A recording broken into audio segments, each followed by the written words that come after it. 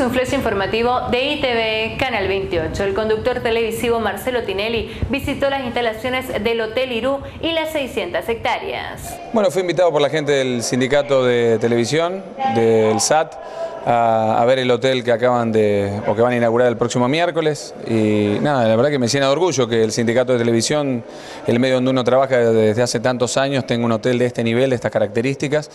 Eh, y como hombre ligado a la tele, me parece que los afiliados a la televisión van a tener un, hotel de lujo en uno de los lugares más lindos de la Argentina. Así que no, no pensé realmente, me vine con una idea de un, de un hotel sindical, sin desmerecer a los hoteles sindicales en la Argentina, pero realmente es un hotel de nivel internacional y, un detalle, un buen gusto impresionante, así que lo van a disfrutar no solamente los, los afiliados, sino también una cadena hotelera importante que es la que lo va a administrar. Claro, y esta es una unidad de negocio del sindicato que le permite seguir haciendo lo que está haciendo en las colonias de vacaciones con los afiliados. Totalmente, sí, me parece que es un ingreso genuino del sindicato a lo largo de los años y eso es lo que hablamos recién con Horacio Arrecegor, eh, que es el secretario y amigo además, eh, amigo mío de la comisión de años, de, trabajar en Telefe muchos años y, amigo también como, como directivo de San Lorenzo, así que nada, contento, contento, contento de estar acá hoy. Con la gente de la provincia pudiste recorrer Iguazú, parte de la ciudad, ¿cómo la viste? Eh, sí, la verdad que es divino venir acá. Yo hacía, mm, yo hacía 21 años que no venía acá, desde el año 93, del año 93 que no venía.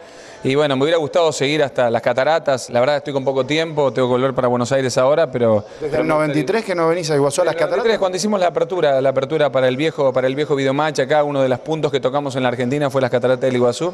Así que no venía, han venido mis hijas, han venido mi ex mujer, pero yo no he venido, así que me hubiera, me hubiera gustado recorrerlo más. Pero bueno, estuvimos comiendo muy, muy, muy rico ahí en la triple frontera, eh, estuvimos viendo un paisaje maravilloso como todo lo que tiene Iguazú, así que disfrutando un día lindo. ¿Viste el concepto de hotelería que tiene Iguazú ahora en la selva? Sí, bueno, estaba mirando eso, cómo está integrado la, hotelería de la selva sin dañar el medio ambiente.